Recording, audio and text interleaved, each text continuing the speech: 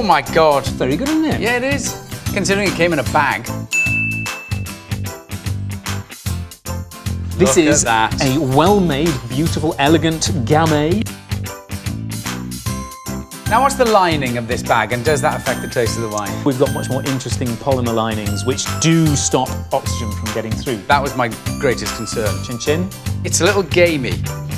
It's gamay. Sorry, that's right, yes.